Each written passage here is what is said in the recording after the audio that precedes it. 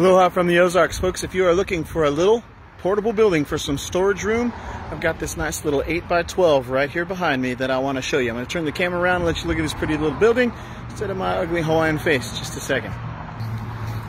Here we go. That is an 8 by 12 It has been upgraded with our PPG uh, black paint. I think we call it ebony. Uh, and with white trim. Uh, it's got a black metal roof. Metal roof will come with a 25 year warranty.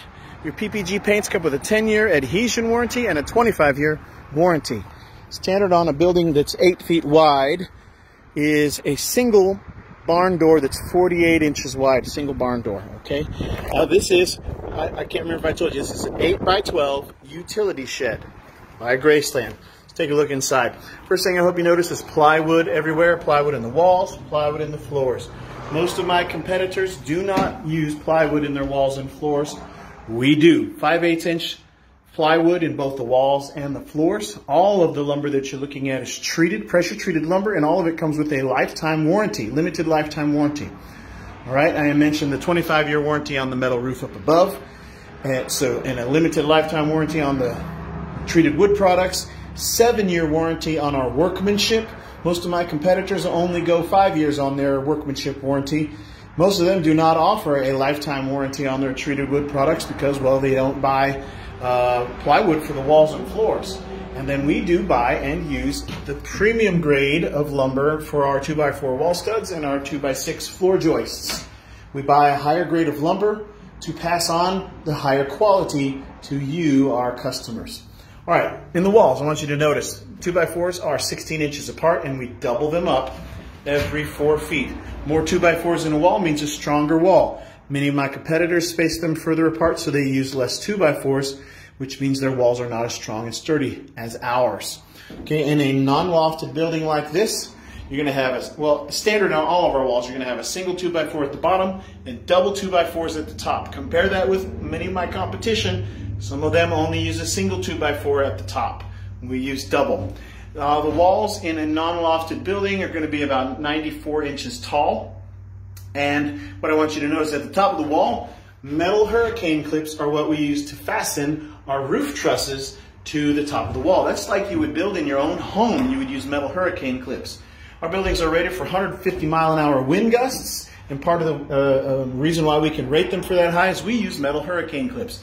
My other competitors out there, some of them do use those, but some do not. If a big gust of wind comes along, you don't have metal hurricane clips holding that roof truss on there, it could get blown off, okay? So it's something for you to keep in mind. Um, our floors are 5 8 inch plywood floors and they're fitted together, interlocked using tongue and groove. So it's really one giant seamless gapless floor, which means it's bug proof. Bugs underneath can't get up through the seams because the seams are interlocked so there really is no seam, okay? It's gapless.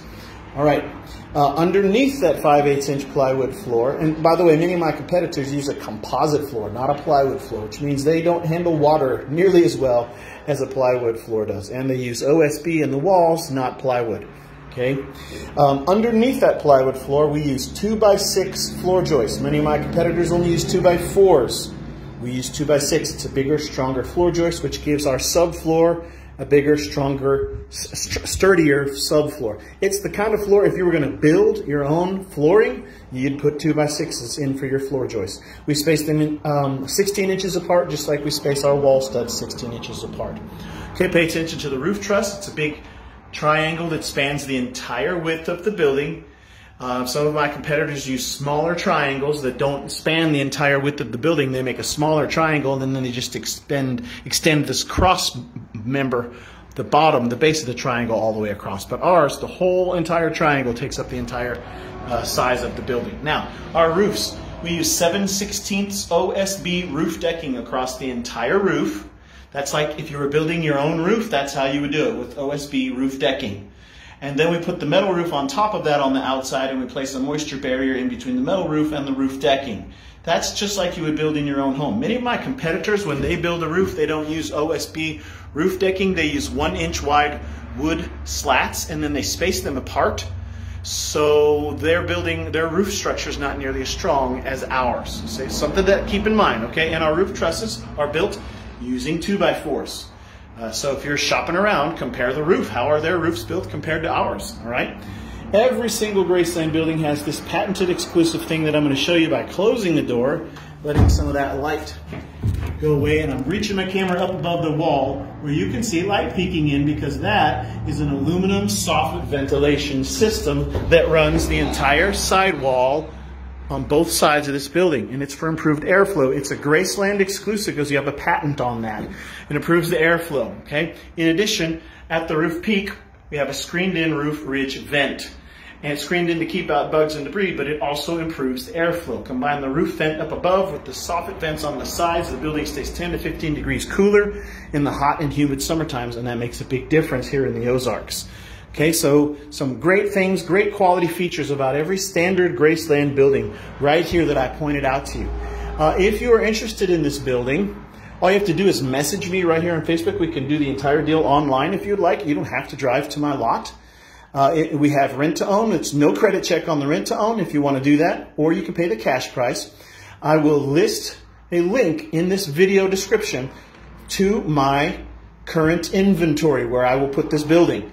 And in that listing, you will see the cash price for this building as well as the monthly rent to own price. Also in the video description to, to, this video, I will put a link to my frequently asked questions page where uh, I probably have a question that you were thinking of already listed there with the answer. Of course, if you have a question you just want to ask me directly, message me right here on Facebook, okay? But questions like, uh, how does rent to own work? Well, it's, uh, it's really simple. It's no credit check. There's no penalty to pay it off early. We collect one or two payments up front. It kind of depends on which way you want to go. And I explain that in my frequently asked questions page about rent to own. Free delivery and setup is within 50 miles of my lot, and free delivery and setup is on top of your. Uh, you provide the concrete cap blocks or concrete cinder blocks. We set the building on top of those, level the building, and then we anchor it down like a mobile home would be anchored down at the four corners of the building. We use 18 inch anchors. That's part of the reason why we're able to give you 150 mile an hour wind gust certifications. Okay, if you are, have any questions about this particular building or getting one custom built or you want to buy this one, all you got to do is message me right here on Facebook. I want to encourage you once again, look at this video description because I have links to my current inventory and my frequently asked questions page. Okay? If you, you got questions, hit me up. Aloha from the Ozarks.